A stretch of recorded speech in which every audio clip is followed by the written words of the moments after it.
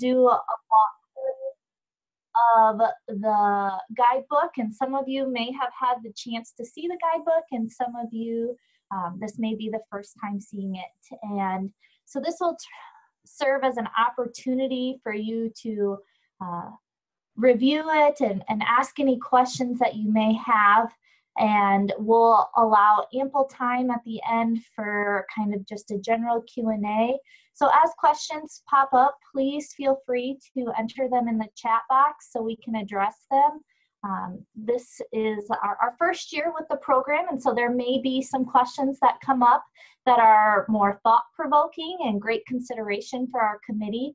Uh, we've done our best to lay out what we feel is a well thought out program um, but yet we also recognize there's going to be opportunity for us to grow as well. And so any suggestions you may have, we will take them uh, wholeheartedly and, and make sure that we're continuing to always progress and move forward. Uh, so I will kind of do a little introduction of our guidebook. So you'll have the the cover page and then a table of contents that shows you where and what pages you can locate all the resources. And then those that have been working to put this program together, I'll allow each of my committee members to introduce themselves. But I'm Amber Erickson. I'm the 4-H Field Operations Coordinator based out of the State 4-H office. Uh, and I'll let Caroline introduce herself. Hey everyone, I'm Caroline Hanson. I'm the 4-H Youth Program Advisor in Davison and Hanson County. So I'm in Mitchell and Alexandria.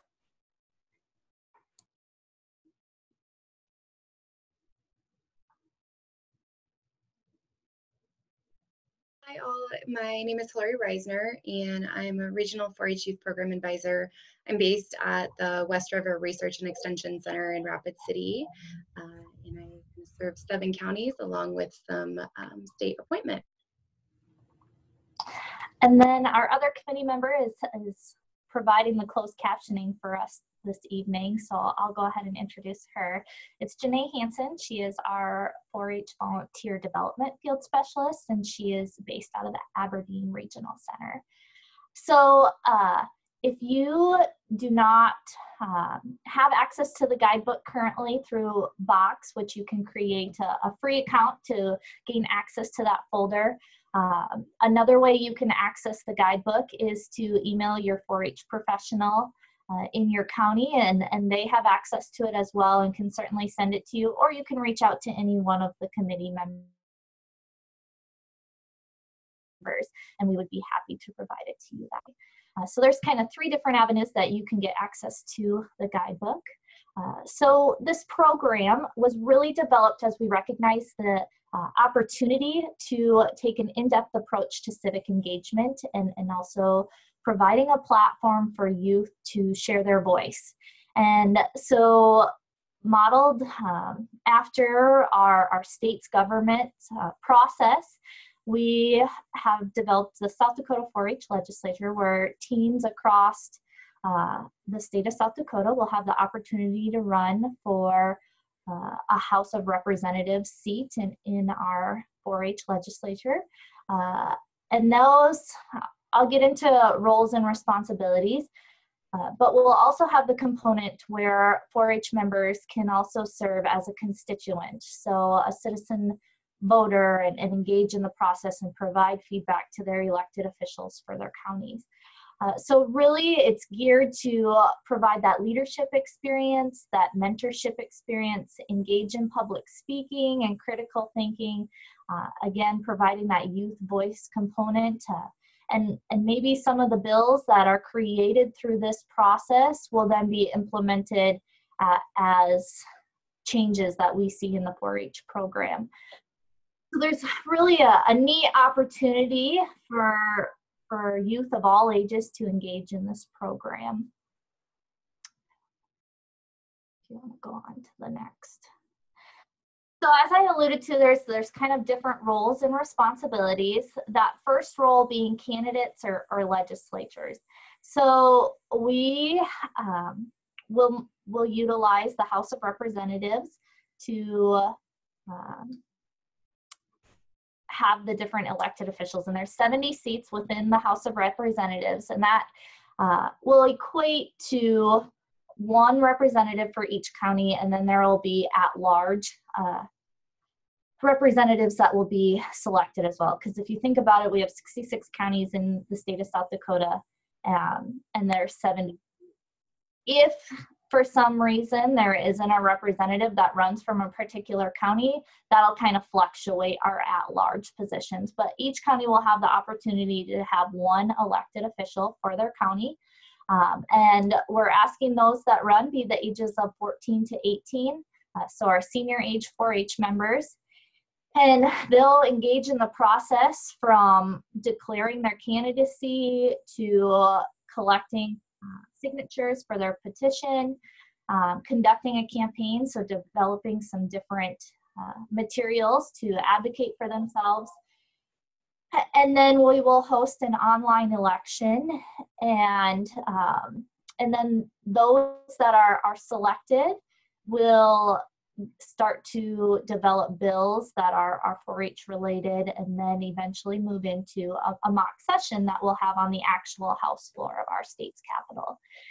Um, while my colleagues will kind of go more in depth into those different components, uh, this is a really unique opportunity for that, that teen voice. The other side of it is the constituents. So if you think about uh, our re- responsibility as a South Dakota uh, citizen is to engage in our governmental process from the voting aspect, um, signing or, or, signing different candidates' petitions, uh, being able to voice our opinions and and and advocate for certain policies we want to see or, or, changes we want made. And so we're allowing that opportunity through this process um, for our constituents or other any other 4-H members to engage.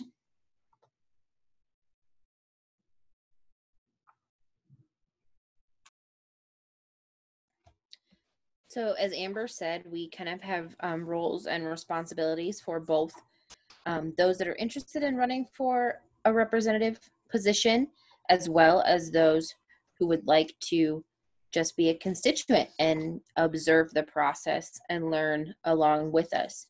So this this page that we have up now is kind of our checklist um, to help keep you on track and to give you a one place to go kind of to see all the the requirements in order to be a representative or um, the opportunities we have for those constituents as well. So you can see in the first section we have prior to the election, um, this first webinar, which we are on right now, um, and then your intent to run, um, your petition signatures, and then your campaign materials are all listed. So the intent of this is kind of a, as you do it, you check it off, you know it's done, have the deadline there, and as long as you have all of these things completed, um, you know you're on task to carry on with the process. Um, so then at the bottom there we have just kind of a reminder of our code of conduct that every 4-H member signs and agrees to um, when they re-enroll for the year. We just wanted to remind you all um, that we are expecting a positive experience, a positive environment. Um, we understand that not everybody will agree maybe with your your stance on some of these issues. And you know just like they do in the state legislature they disagree at times but they still have to be respectful and um, remember that they're representing not only themselves but they're representing south dakota 4-h and their constituents throughout the process. And so we just want to to make sure that uh, everyone has a positive experience when they whether they're um, observing or whether they're um, actively participating as a representative in the process. So um, this is page six, I believe, of the guidebook, and then the reminder of your full code of conduct is one of the um, appendix pages in the back. And then the dress code, we just ask you to dress professionally Um, for the event, we will provide a polo and a name tag if you are elected. If you are not, just a business casual, um, just to look nice. Again, we're representing 4 H, we're representing our program, and we just want to make sure that we are dressing professionally when we're interacting with other individuals. So then we'll jump into kind of the timeline and how the process is going to look. Um, so at the very top there, you can kind of see our, our timeline from today to the actual event being held on October 3rd. Um, there's some more details as we get into other pages, but I'll briefly touch on some of them. You'll see a lot of them are webinars. And so the reason we've kind of chosen to do webinars is um, I'm sure you've all noticed everything has gone virtual. And so we want to make sure that we provide an opportunity for everybody to be able to participate. And even if you are not an elected representative from your county, you're still welcome to hop on to any of those webinars to learn more about the process. We want this to be a very educational experience for everyone. And so we have welcomed anybody to, to jump on and learn about bill writing or committee meetings or things like that. And then at the bottom there, um, you can see kind of the duration of the event um, and then the location, which as we stated, or as Amber stated, will be on the House floor, which is really cool. You'll get to debate those bills right on the, the same, um, in the same seats that our state legislators use and then the cost is is very minimal. So the only cost we are anticipating is your cost of travel to get to Pierre on October 3rd. And then we provided a little bit more description of what we're hoping you get out of these webinars. So you'll see like the one on May 1st is our campaign process. So we will be covering both what a what a, a real world, I guess you could say, um, campaign looks like, as well as what that's going to look like for our program. Um, it's obviously going to be slightly different, but we want to make sure that we provide the opportunity for you to learn about both processes and how those are similar, but also how they're going to look different. And then the June 8th webinar I want to point out is our voting process. So that's a really important one for everybody to attend because that's going to, we're going to go over how you vote and what that voting looks like. And then on June 15th through 19th is when our voting opens. So that's when you get to log in and actually cast your vote for your representative that you would like to represent your county. So it's a very exciting time. And then, as I stated earlier, the other webinars are open for anybody. Um, I'm not going to spend a whole lot of time just reading these pages for you, um, but I just wanted to point out those couple events so that you were aware um, of kind of the, the big project timelines. Um, and again, it's going to be every one of those is both comparing the real world and to how our mock legislative session is going to look and we're not expecting our 4-H kids to become experts in this by any means. And so what we're doing with the webinars is we're kind of bringing the experts to you. So we'll have hopefully some guest speakers in those webinars to talk about their experiences, people who've worked in those fields, people who are active in those fields now to provide you with that experience and that firsthand look at what those job descriptions look like.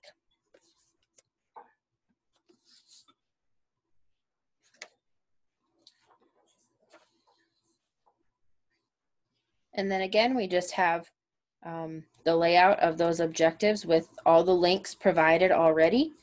So you'll go to each one of those links at the time of the webinar. If you're not available at that time, um, please don't let that be discouragement for you to participate. We will be providing those recordings um, afterwards. Um, but we would encourage you to log on live because then you can ask your questions and be involved in the interactive discussions that we do have. And then I believe Hillary is going to jump on with the campaign trail. Yeah.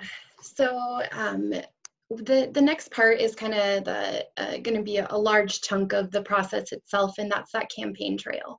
Uh, so we just we really wanted to kind of outline um, what that's going to look like so you have an understanding of what to expect. And so um, the first step in any uh, individual's um, campaign trail is to officially declare their candidacy.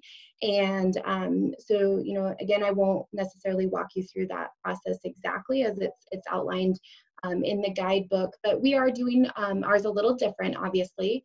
Um, but your official declaration of candidacy would be to simply fill out um, a question pro form and it just gives us um, your basic information and officially makes that declaration that you um, wish to to serve as a candidate and that you want your name included um, on um, the the petition to, ha to have a petition um, circulated on behalf of you. And so in order to access that, um, that's actually this link.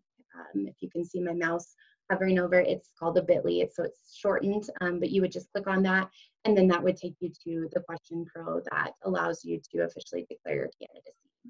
So that does have to be done by May 15th, and that is outlined a couple times throughout all of those different timelines that we've provided.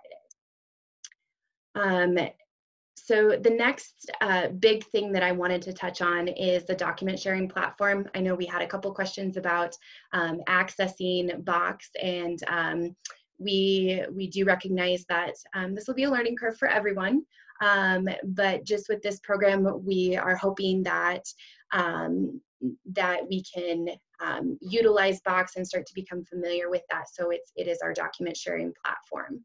Um, and so within the guidebook, um, there there is actually a help sheet on how to um, utilize Box and and different um, maybe action items that you might have in um, the process of, of this program um, but we will be using um, a particular folder that will house everything that has to do with the South Dakota 4-H Legislator Program specific to the 2020 year. Um, and so that is um, right here, it's hyperlinked in the guidebook and you would click on that. Um, I am gonna move to the, the Utilizing Box help sheet. So for that initial access of Box, you will have to create uh, a free um, uh, box account. And so um, you will notice in this um, particular screenshot here, I'll zoom in, um, it, it does say um, that you, you just enter like your first name, um, an email address, and then a password um, and an optional phone number, and then you click submit and then that will provide you a so-called free account um, to Box. And you'll just want to make sure, just like with every other account you have, you remember um, the email address that you associated with that account, and then obviously the password that you um, provided for that account. Um, so if you're using the link to access um, the the guidebook, um, it'll bring you to a to a screen, and just underneath, it'll you'll need to click on a uh, a hyperlink that says like you don't have um, a box account and then this this window will pop up for you to create that free account um, so that is one thing to access that guidebook um, from box otherwise um, after you have declared your candidacy that will prompt us to um, actually send you um, an email so that um, you will then have access to the box folder. Um, and so you'll accept the invite as it says here. Um, if you've already created the box folder or box account, you won't necessarily have to do that. Um, but then you'll have access to this box folder. And eventually, as we have all of our candidates, each candidate um, will have their own individuals folder. And so that that folder will um, look similar to this with your county name and then um, for last name followed by first name. So I just kind of wanted to provide that, um, address that, that you will have to create a free account um, for Box in order to access um, that guidebook. But um, if you have access to the guidebook now, the process will look a little bit different as you um, are declaring your candidacy and you get that email that we've invited you um, to the folder. Um, so then um, circulating a petition. So once you have declared your candidacy, um, it will um, prompt us to then create a um, folder as I indicated for you on a subfolder on the, the box folder. Um, and then this is where you will develop some of your um, campaign material um, and you will start circulating um, your petition. And so um, each of you will have a, an individual URL that um, you can circulate to constituents uh, to circulate a petition. And so a petition is essentially just getting the buy-in of your constituents saying that, yeah, I, I think this individual would serve our county well, um, and I would like to see them um, on, on the ballot. Um, and um, you know it's it's not a terribly official process and it's not a voting process so it's just that initial stage of individuals giving you the go ahead that um, you know they would like to see your name potentially on the ballot and to see you continue campaigning to represent their county. Um, and so that'll be done again via question pro. Um, you'll just simply circulate that unique url for your petition um, to individuals in your county and they will so-called sign the petition um, via Question Pro, and um, you will have to get a certain number of um, signatures. And so in order to determine that, um, you will refer to your petition matrix that is in the appendix of the guidebook. And I will go to that just briefly so I can talk through that. Um, so this is what the petition matrix looks like. Obviously, it's a, um, an image of South Dakota, and it's broken down by all of the different counties. And um, so the way that you determine how many signatures you need is you actually would find your county. Um, so for instance, if I'm from Corson County, I would find uh, Corson County, and I would see how many 4-H members were enrolled in my county based on the 2018-19 4-H year. So Corson County had 64 members. And so once you figured out how many members you had in the previous 4-H year, then you would go down to this little table and you would find um, the, the line in which your county lies. So um, between 1 and 49 members, 50 and 99, and so on. So Corson County would obviously um, fall within this, this second line here between 50 and 99 members.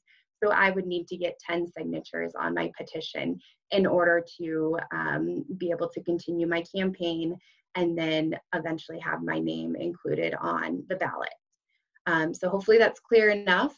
Um, we tried to make it so that those counties with uh, a bit larger 4-H membership um, do have to receive quite a bit uh, more signatures on their petition. And then um, on the flip side, those that have a, a, smaller county aren't needing as many signatures. Um, certainly you can let us know if you have questions on this process, but hopefully it's pretty straightforward. finding your county and then finding um, kind of what group your county lies within to know how many signatures you ultimately need. Okay.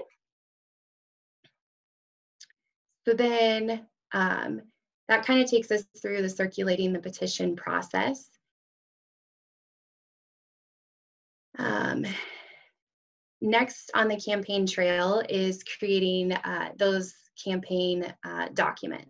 And so um, I don't know if your parents are registered to vote, but I know when I registered to vote, um, I rece- started receiving all sorts of what they call rack cards. And so um, they're just kind of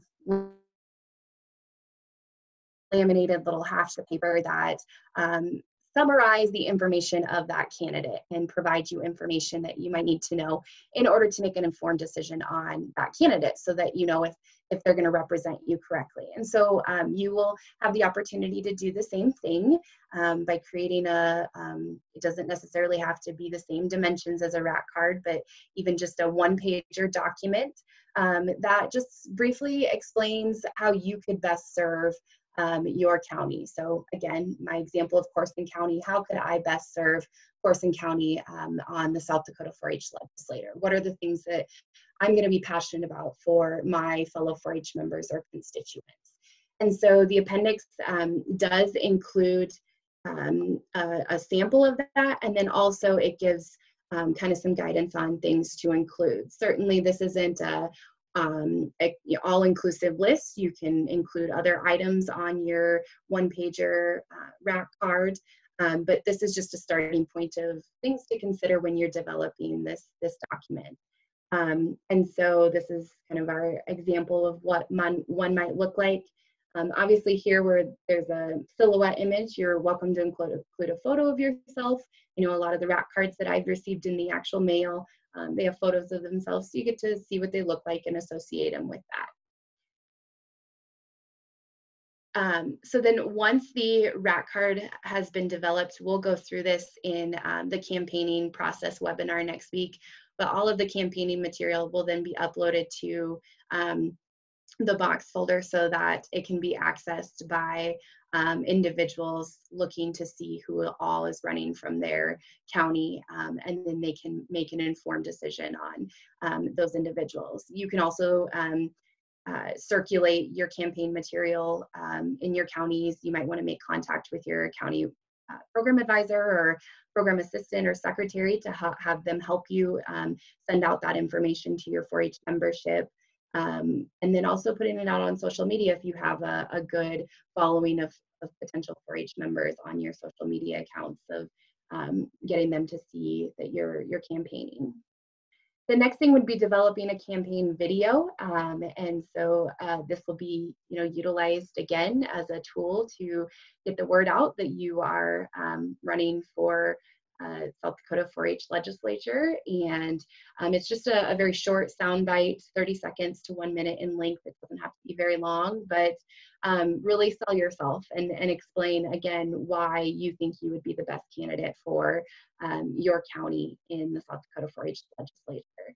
Um, again, we have provided some guidance on that. So in the appendix of the guidebook, there's a creating a campaigning video um, document and it just talks you through kind of some different steps of creating that video, um, some, some guiding points, and then also um, uploading your, your file um, or your, um, your video to the box folder.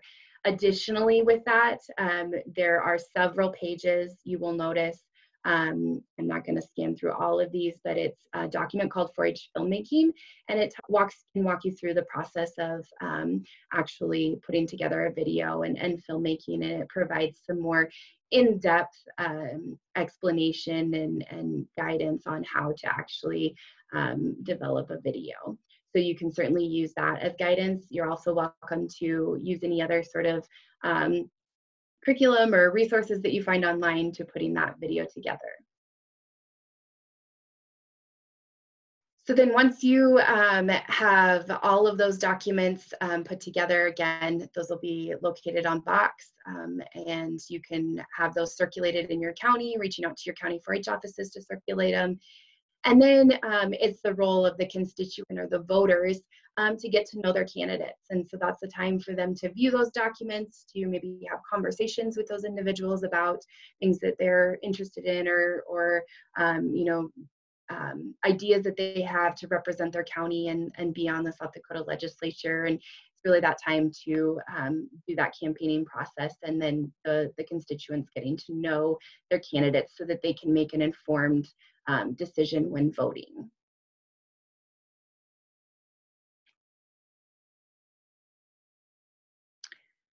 So as I said, this doc one document's kind of long, um, but it's a, a, decent resource for that. So then that brings us to the actual election process. Um, and so this process, uh, again, we recognize this doesn't mimic exactly the South Dakota uh, legislature process, um, but again, with the you know constraints of um, COVID-19, and then also just knowing, um, you know, capacity of, of making it happen um, exactly the way that they do um, from a, a, state perspective um, just wasn't feasible for us this year. So it looks a little different, um, but once a candidate has received a number of signatures on their petition, then they'll be included on a ballot, which we will facilitate again through the Question Pro process. and so then their constituents can go on to that QuestionPro and vote for um, the candidate they would like to represent them um, uh, in the South Dakota 4-H legislature. In some cases, there might only be one candidate, and that's okay. Um, in other cases, there might be several, and um, those constituents will really have to make a decision on um, who they, they feel is going to best serve them at the Capitol. Um, and so then it also talks through voters. Um, again, voting opens June 15th through the 19th. Um, and there's that direct link to the um, ballot. And then election results will be announced July 1st, and we will announce those on multiple platforms um, so that not only you as a, a potential um, candidate and then um, if you win the election a, a legislature will know um, but also so the constituents are aware of who will be representing their county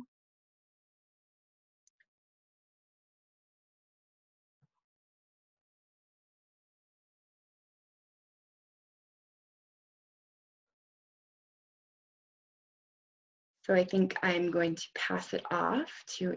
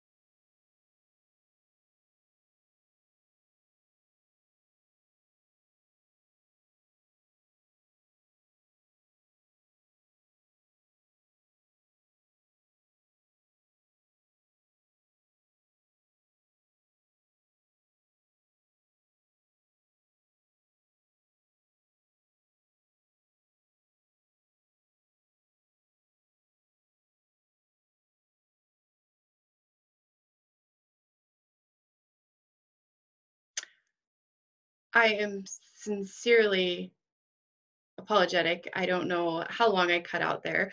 Our internet has been ridiculous. Um, so I'm sorry, I, it just threw me off. So I hope you can see the screen now. Um, can somebody confirm that? Okay. All right, perfect. Um, okay, so I, um, Amber is gonna go ahead and discuss the legislative process.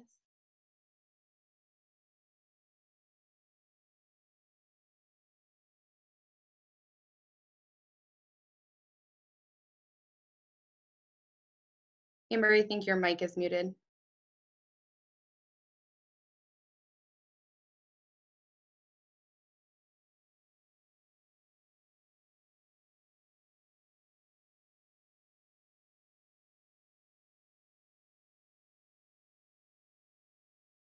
Um, this is Ron Frederick. I still can't hear Amber.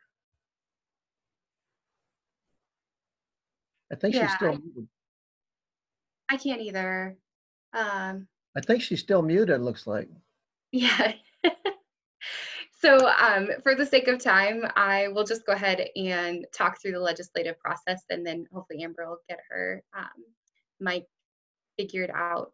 Um, so then moving into the legislative process. So as you see, we actually have um, two roles that individuals will play within the process. Um, and so the big one is obviously the 4-H legislatures. Um, and so they will have opportunities to actually draft legislation, which we also know as bills. Um, and then they will have opportunities to um, debate those bills on the actual House um, floor um, and then um, put those bills into so-called action. And as Amber mentioned earlier, um, there is a potential for some of those bills to be considered if it's a county level bill at the county level, we will pass those on for consideration. Um, but then also at the state level, if there's bills that are passed that would affect, um, say, a, a, state rule or policy or something like that, um, we'll pass that on for consideration. So that's really where that youth voice comes into play.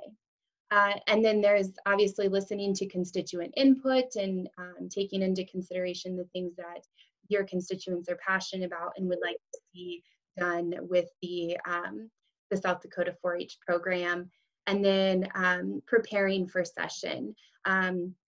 Um, so just um, making sure that you're prepared to debate bills and um, to um, have those caucus meetings or, or the committee meetings um, and just really getting ready for that actual event or session as our legislatures would know, know it as. Then on the other side is our 4-H constituents, which plays a really huge part in um, making sure that legislation is drafted that truly affects um, their county and, and the program as a whole. And so they will work to advocate and what we may know as lobby um, our legislatures and, and um, helping them understand subject areas that they're passionate about or that needs um, addressing. And so they will have those communications with those legislators. And then they also have the opportunity to observe the process. Um, so just like if anybody attended the South Dakota 4-H Capital Day in um, January, we were able to observe uh, the legislative process. You will also, as constituents, have that opportunity to come to Pierre uh, and watch the South Dakota 4-H legislative process. Um, so you know, getting to observe that whole process there.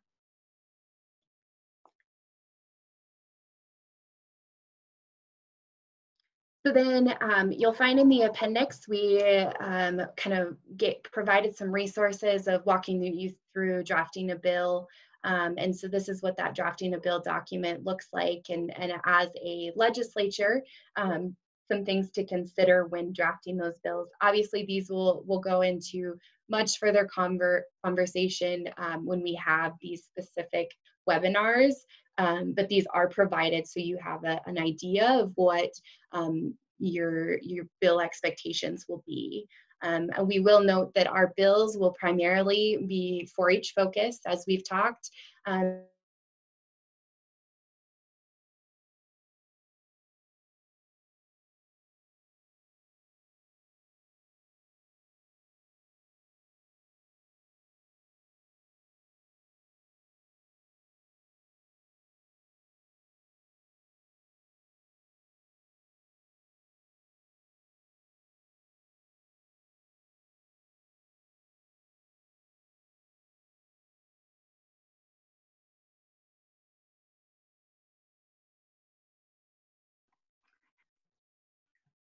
Here, Amber, can you jump in keep talking? Um, looks like Hillary cut out again. Yeah, so I, I kind of caught what, what Hillary um, was ending on. So our, our bills will be primarily 4-H focused uh, so, and our um, elected officials will have the opportunity to, to draft those bills on whatever topics related to 4-H and, and that really correlates nicely to that, that youth voice component and utilizing um, the impact of what bills are, are made and passed within our South Dakota 4-H legislature um, to be have the opportunity to possibly direct change for our South Dakota 4-H organization. Um, and so once those bills are, are drafted, uh, so if you think about it from the two, two different role components, uh, we have our elected officials and then we have our constituents. And those constituents will be able to see the bills that our elected officials have have drafted and be able to weigh in their opinion. And, and that's kind of a role as a, a legislator as well is to uh, be willing to listen to your membership, be willing to take input, and, and you're really serving as that voice for your for your membership. Uh, and so then once all of the bills are drafted, we will, it kind of comes to the mock legislative session event. And there we will break into different committee work and, and kind of dissect those different bills. And, and um, from committee work, we'll move into caucuses. And then uh, in the afternoon, we will have the actual debating of the bills and passing or failing uh, the created bills of that are 4-H legislators created. So then um, we just kind of work our way through the document into, we have developed some frequently asked questions or, or predicted frequently asked questions. And um, so one of the big things you're probably asking yourself is, is there a cost to this program? And as we kind of stated earlier, we want this to be as cost minimal as we can. Uh, so really the anticipated cost is if you're a selected uh, representative for your county, then it would be the cost of, of traveling to the capital uh, for our mock session. Um, other than that, you're engaging through different webinars and, and uh, promoting yourself locally. Uh, but we, we want this to be as cost reduced as possible. If you are a constituent and you, you want to come and view the, the mock session, we, we certainly invite you to. We think this is a great learning opportunity and also to see your peers out on the floor um, discussing uh, the different bills and as you follow them through the process. Uh, otherwise, it is not required as a constituent, and so don't feel you, you have to, but we certainly encourage you to. Um, we recognize that you may have conflicts already on some of our scheduled webinar dates. And so you're certainly still able to participate if you are one of um, the candidates running for uh, 4-H representative or you were selected as one of the 4-H representatives, we do expect that you watch the recording uh, and there'll be a short, not really in depth, but worksheet to kind of showcase that you did participate in that recording. Um, so our South Dakota 4-H representatives are geared towards our senior age members, 14 to 18. So uh, if you are 13 years old, uh, we encourage you to participate and, and engage as much as possible and kind of see um, what it's all about so you're ready to go that, that following year. Uh, but we are going to follow 4-H age, and that'll be 14 to 18 as of the current 4-H year. Um, is there a dress code for the program? Webinars, we, we don't, we don't expect you to get all dressed up. You can certainly just have casual wear for those webinars, but we do ask it to be appropriate. Uh, and again, as stated earlier, for that actual mock session day, we ask that you, um, if you're coming to view as a constituent, be in kind of business casual dress. Uh, and then as a elected official, you will be provided a polo and a name tag, and then um, probably black or khaki bottoms would be the, the dress code. And then um, we encourage not only other 4-H members that to come and partake in that event, uh, but also if you're a family member and, and want to see kind of the action throughout the day, uh, you're certainly welcome to participate.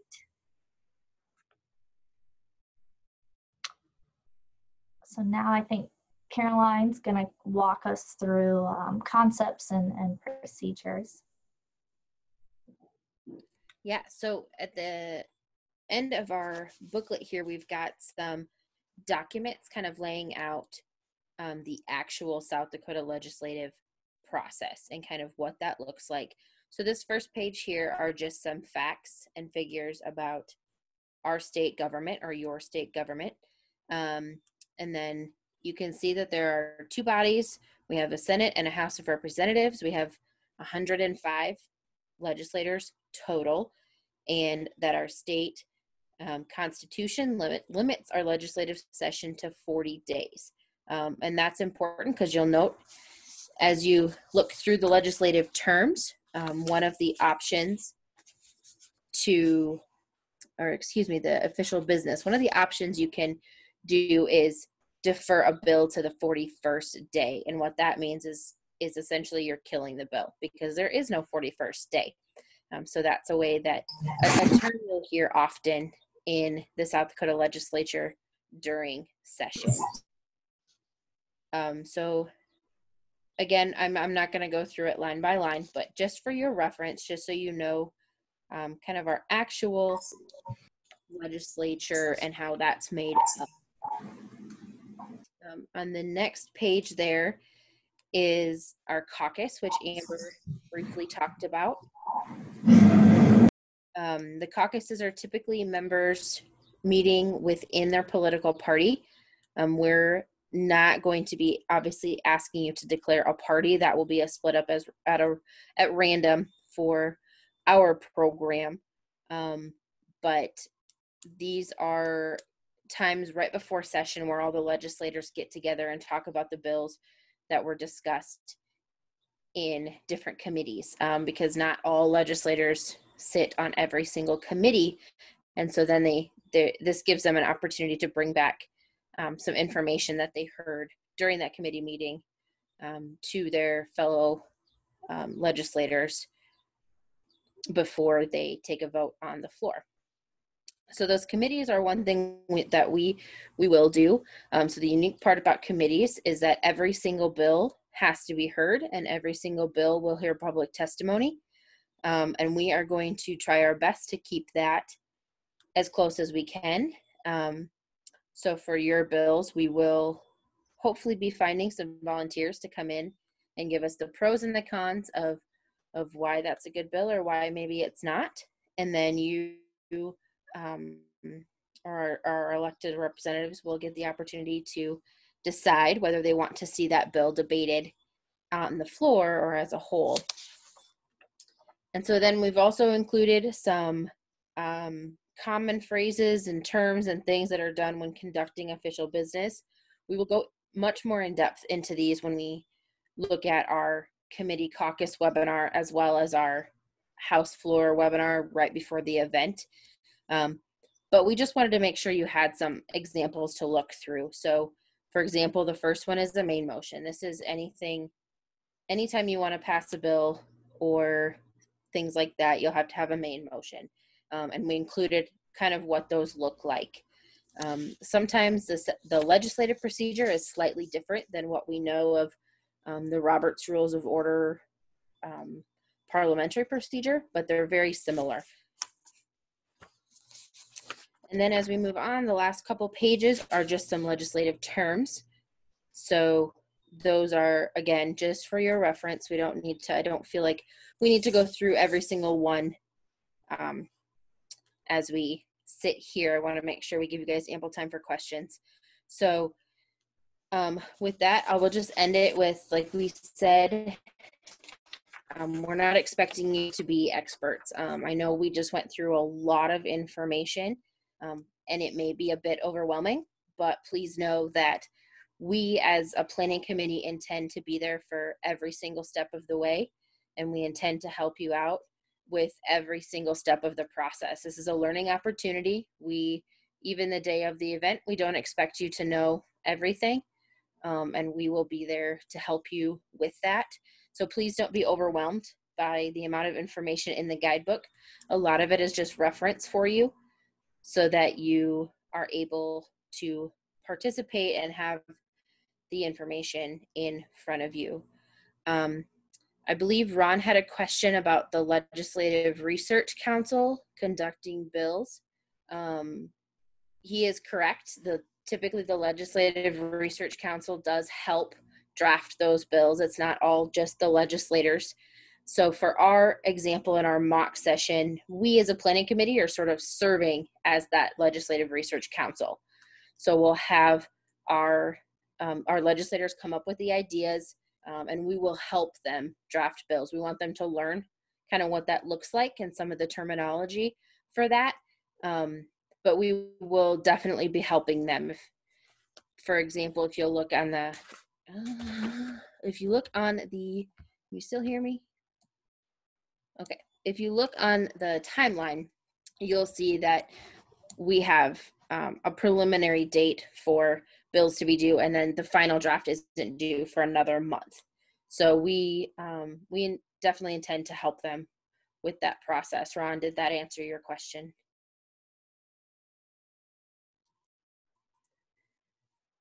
Awesome. And then with We that, if anybody else has We had another question, question come in um, regarding, uh, the question states, is signing of the candidate's petition only available to members from the person's 4-H county, or can anyone from the state sign it? And so if you think about actual um, legislative process, though you're you're getting the buy-in from your district, and so signing the petition will be for the your 4-H members of your county. Great question, though.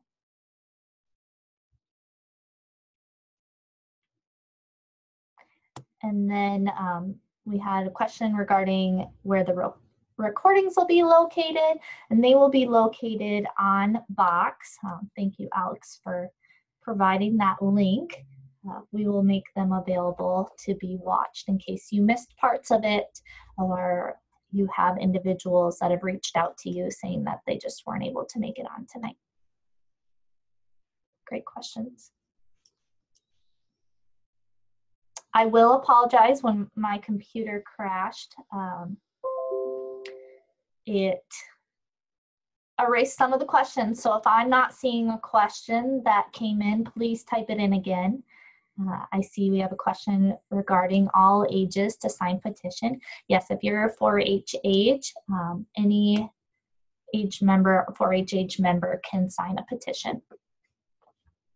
Great question.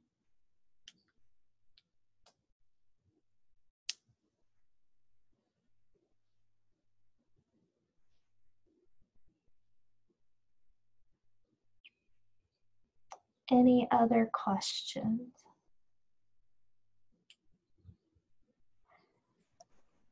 um, Cheryl has a question about if just 4-H members can sign or if leaders can sign. Um, it will just be open to 4-H members to sign those petitions. Yeah, and we encourage as leaders or volunteers, mentors, um, we encourage you to assist candidates in, in promoting their materials, getting it out to your membership, uh, letting individuals know that in your your county that they're running and assisting that way and kind of serving as a, a mentor. Uh, but um, yeah, it'll be limited to 4-H members as Caroline stated. But leaders are also welcome to join us on the webinars if they'd like to learn more about the process. Again, we're going to be talking about the real world legislature as well as our 4-H legislature. So you're more than welcome to hop on as parents, leaders, and then all age members.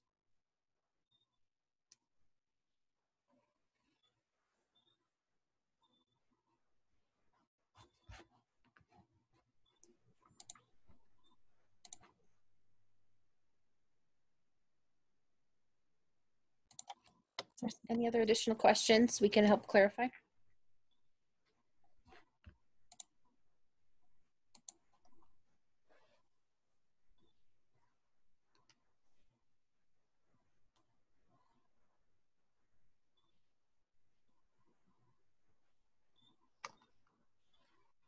Well, if not, you can always reach out to us. Um, it, I, our email addresses are our first name dot last name at sdstate.edu. It is located in the guidebook. Uh, and we appreciate you joining us and, and I apologize sincerely for the technical difficulties we experienced tonight.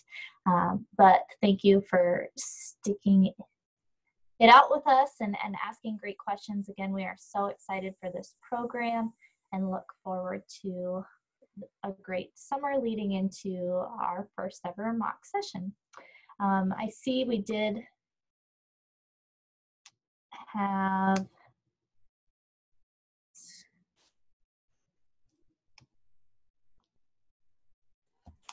So Kendall had a question about members being able to vote. So anyone 4-H age 8 to 18 as of January 1st can both sign, sign the petition and vote. Yep. Great clarification. And just to reiterate, um, again, this is uh, obviously our first year, and we we really see the need in this. Um, and but with that, we know that it's not perfect yet, and so we know this will take several years to get it there. And unfortunately, we're trying to roll the, the program out in um, a COVID nineteen year, which adds some level of difficulty. Um, but certainly, if you have ideas or thoughts or or um, you know just any anything that you think might help us through the process we we really are an open book and we want to look to make the program better and um, we will take every suggestion and um, see what we can do with that. So please feel free to reach out to us in any sort of capacity that way. Um, you can shoot us an email with any suggestions or thoughts and we'll look to discuss that as a, a program committee.